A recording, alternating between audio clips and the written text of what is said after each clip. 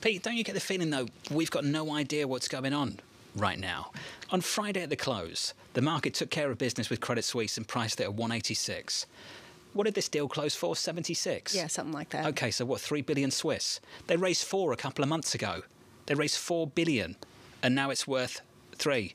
And I was told repeatedly that the Swiss unit was worth what, 10 billion? Correct. And they're getting that for 3 and they need to throw government guarantees in there as well. Now that's just Credit Suisse. And take out the AT1s, don't Does, forget does that. that not make you just pause and say there might be some stuff that I don't know here? I, I think the fear everyone is going to have is if we get a look behind the balance sheets and really what's in there, are the losses more concerning? And in all these things, right, we all know what it costs to sell a treasury or sell a mortgage bond, right? There's a bid out there.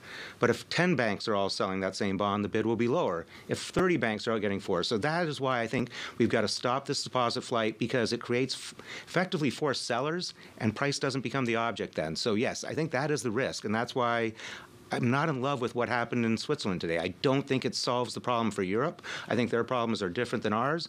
Here, I think a deposit guarantee would really solve this issue for us, or at least put it on hold. But that's going to be the scrutiny that the bank balance sheets are getting is going to be intense, and it's intensifying. And more and more people want to know what do you have, not just in terms of the details of your maturity, the types of assets, but even where are your deposits? Where's your cash sitting? Yeah. That's a new thing.